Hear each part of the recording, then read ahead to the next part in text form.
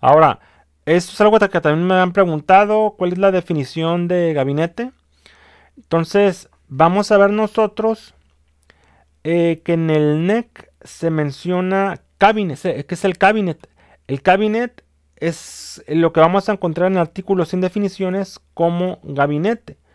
El gabinete es el envolvente o envolvente diseñada para montaje superficial o empotrado. O sea, tú puedes ponerlo eh, de sobrepuesto en la pared, que es a lo que se refiere con montaje superficial, es el sobrepuesto, o empotrado. El empotrado es cuando lo metes, los embutes ahí en la, en la pared, queda empotrado dentro de la pared, ¿sí? Y la tapa es la que queda al ras de la pared. Provista de un marco, montura o bastidor en el que se instalan o pueden instalarse una o varias puertas de bisagra. Entonces, estas puertas de bisagra eh, son estas, donde, aquí donde está el directorio, el directorio, ahí están las puertas de bisagra.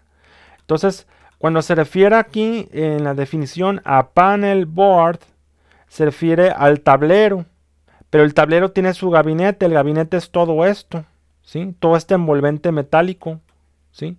Todo este envolvente diseñado para montaje, ya sea sobrepuesto o empotrado, ¿sí? El tablero tiene su gabinete, que esto es el gabinete. El, gabinete, el gabinete tiene su, tapa, que es el cover, pero también la tapa tiene las puertas. De manera que aquí tiene unos orificios en los cuales se puede acceder a, los, a las partes de los interruptores donde están las palancas. Todo está ordenado por eh, la posición de los circuitos, que es algo que aquí en el canal les he explicado cómo van la posición de los circuitos conforme al balanceado de cargas. Bueno, esto es lo que es la definición de gabinete, repito.